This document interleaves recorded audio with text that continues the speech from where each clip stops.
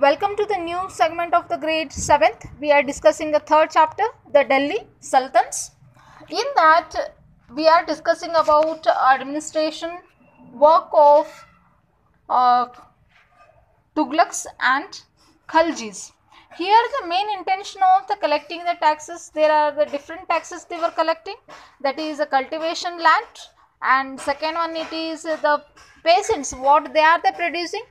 Third one on the cattle and on the ho- houses where they are the living.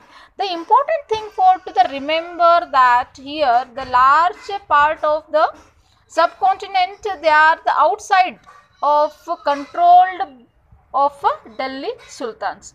It was a very difficult for to them to control the other part of uh, southern India and as well as uh, and the people the who are the under the sultans that is uh, samantas um, in a first chapter we are discussed that is the second chapter we are discussed about the samantas who are uh, declared themselves as a independent rulers.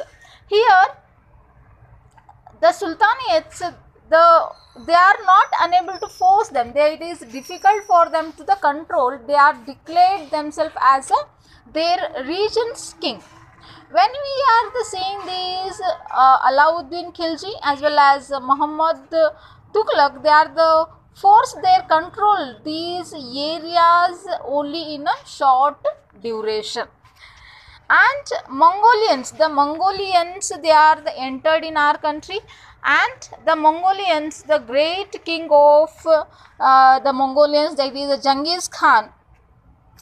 He was invited to uh, our country in the northern east uh, from Iran in uh, 1219 the Delhi the Sultanates they are the first to uh, here um, he was when he was uh, Mongolians they uh, attracted and attacked to uh, Delhi.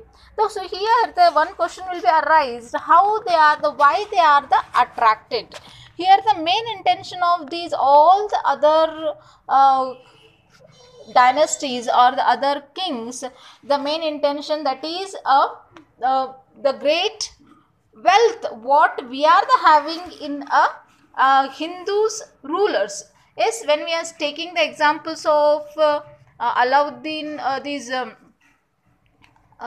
Muhammad Gori and Muhammad Ghazni, like that only these Mongolians also is attracted for towards to the wealth, and they are attacked on a Delhi Sultans in during of the when Alauddin Khilji. Yes, so Alauddin Tughlaq he was under a Iranian Afghanian rulers these these forced to the two rulers to uh, the the army which they are the having which they are uh, uh, the very large army the both dynasties they are the having. It is a big challenge for to the huge administrator the administrations administratives the what they are the actually they are uh, controlling themselves.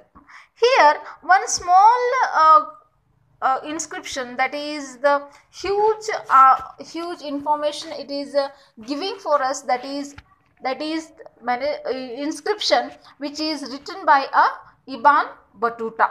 So Ibn Batuta he was a, um, a writer and as well as um, a thinker that is a historian. He was a written he, he was uh, belongings to a 14th century traveler from uh, morocco. Uh, he, morocco it is in africa.